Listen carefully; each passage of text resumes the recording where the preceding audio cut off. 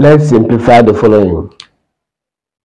1 1 divided by a plus 1 plus 1 divided by a minus 1. So the LCM here, what you need to do is to find the LCM. And the LCM here is a plus 1 times a minus 1. So you draw a line as usual. Write the LCM below a plus 1 times a minus 1. Divide this, the, multiply the whole of this by the LCM.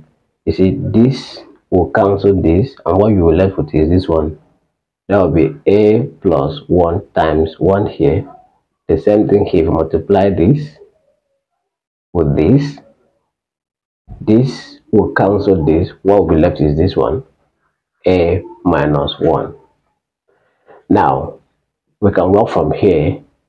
a plus a is 2a minus 1 plus 1 is 0.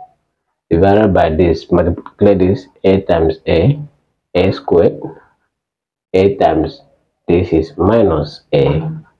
This time this is plus a.